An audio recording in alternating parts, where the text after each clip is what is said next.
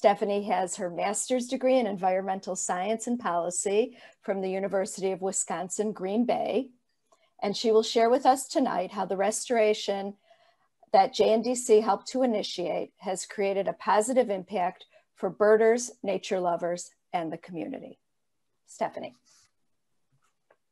All right, thank you, Ellen, and thank you all for funding this important work. That's really exciting to me to uh, learn that you all had an impact on improving the, the park at um, Park 538. And so I'm going to be sharing a little bit about our involvement in that work and um, you know what's happening there now.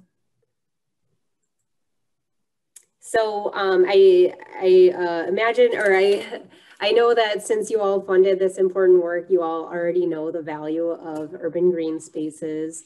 But I just want to say, you know, that urban green spaces are really important for people, as we all know. Um, we've had uh, seen a few studies out recently that say that, you know, spending time in nature, viewing wildlife and birds can actually make people happier. And that's not really a surprise for those of us that already spend a lot of time doing those things.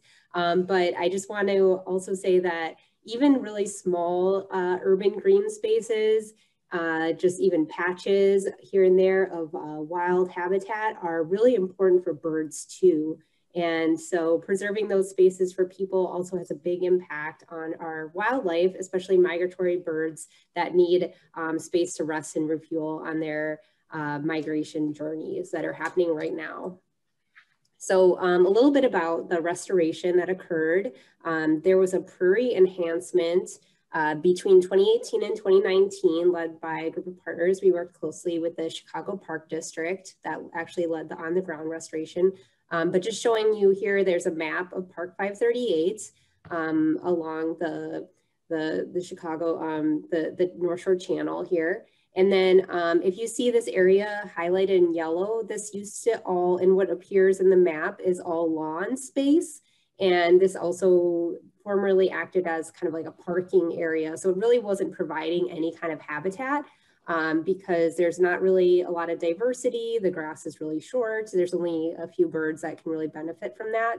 So the park district enhanced it by um, planting prairie plants. So we're talking about um, wild native grasses and uh, flowering plants. So it's, it's really going to be kind of like a grassland habitat with all kinds of different uh, types of vegetation that can provide important uh, uh, food for, uh, they, they were also looking at butterflies, but also birds.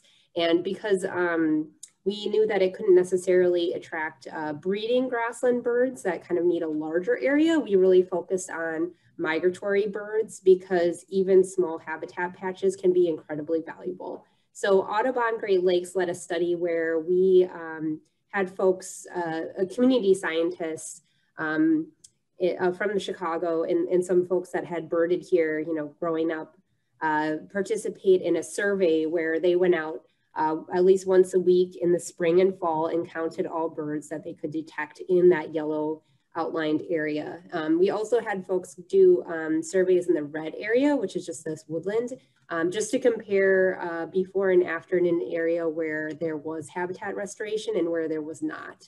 And so um, because it was a, a, pretty short time period for the study, um, we could only find um, limited results as far as you know what birds actually are using the park but it's an ongoing study because you can still participate uh, by submitting bird observations or any birders or community scientists, anyone that visits the park can log on to ebird.org and um, submit their sightings. And we've even seen um, a little bit of an uptick in birding at Park 538 that may uh, be due to um, some of the restoration happening here.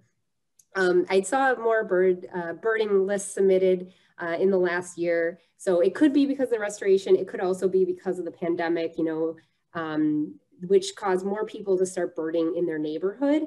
And, um, but that's a good thing too, because that might have helped them discover uh, a local park like Park 538.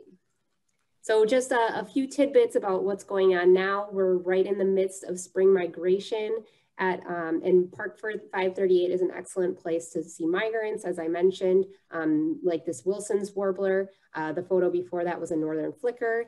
those birds are traveling through right now. And you can see all kinds of colorful migrants that are traveling here, some all the way from South America and uh, have their destination currently as Northern Canada. So in, a, in the next few weeks, we're gonna be seeing peak migration and it's a great time to go to the park and see, you know, up to even, you know, 80 species in one day. It's, it's pretty incredible.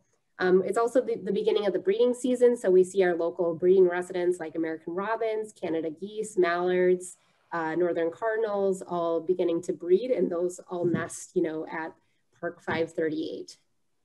So again, if you want to participate or share how um, your, your neighbors or friends can um, be a part of community science, uh, we recommend checking out eBird, which is ebird.org, or you can download the app directly to your phone. And then you can submit, use the app to actually submit any bird sightings that you see.